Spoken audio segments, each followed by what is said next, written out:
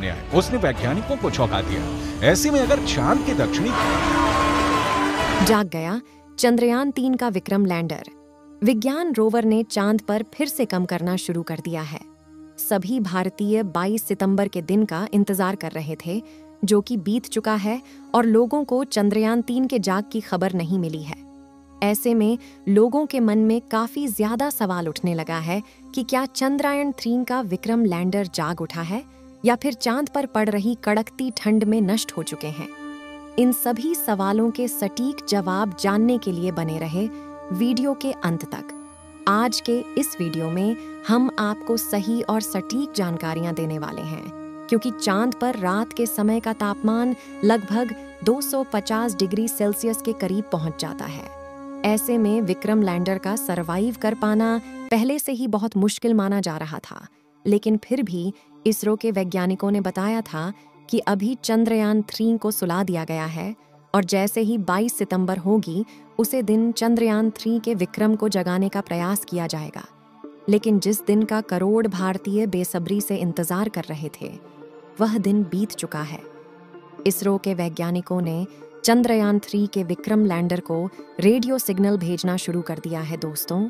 करोड़ भारतीय 22 सितंबर के दिन का बेसब्री से इंतज़ार कर रहे थे, क्योंकि 22 सितंबर भारतवासियों के लिए बहुत ही खास होने वाला था। वैज्ञानिकों ने 4 सितंबर के दिन प्रज्ञान रोवर और विक्रम लैंडर को स्लीप मोड में डाला था और वैज्ञानिकों ने बताया कि अब चंद के दक्षिणी ध्रुव पर 14 दिनों तक रात रहेगी, इसलिए 22 सितंबर के दिन फिर से चंद्रयान के प्रज्ञान रोवर और विक्रम लैंडर को जगाया जाएगा। चंद्रयान तीन का प्रमुख मकसद चाँद की सतह पर सॉफ्ट लैंडिंग करना था। और उसके बाद चौदह दिनों तक चाँद की सतह पर जानकारियाँ इकट्ठा करके वैज्ञानिकों तक भेजना था। लेकिन आपको बता दें कि चंद्रयान थ्री के प्रज्ञान रोवर ने मात्र दस दिनों तक ही चाँद पर एक्सपेरिमेंट किया था। और विक्रम लैंडर ने लगभग बारह दिनों तक चाँद की सतह पर एक जगह खड़े होकर चाँद की धरती का तापमान प्लाज्मा रेडिएशन और भूकंप के बारे में जानकारियाँ इकट्ठा करके वैज्ञानिकों तक भेजी थीं। केवल दस दिनों के एक्सपेरिमेंट में ही चाँद पर ढेर सारे तत्वों की खोज कर ली थी, जिनमें ऑक्सीजन और सल्फ़र समेत कैल्शियम, आयरन, टाइटेनियम, मैंगनीज और सिलिकॉन जैसे अन्य तत्व मौजूद थे। प्रज्ञान रोवर ने चाँद की सतह पर सल्फ़र की खोज की और इसलिए चाँद की सतह पर सल्फ़र की खोज करने वाला दुनिया का पहला देश बन गया। चाँद पर पानी की खोज करना था। लेकिन जैसा कि आपको मालूम होगा कि चंद्रयान तीन के प्रज्ञान ने चाँद की सतह पर पानी को नहीं ढूंढ पाया था, क्योंकि प्रज्ञान रोवर को लगभग चौदह दिनों तक काम करना था, लेकिन इसमें केवल दस दिनों तक ही काम किया।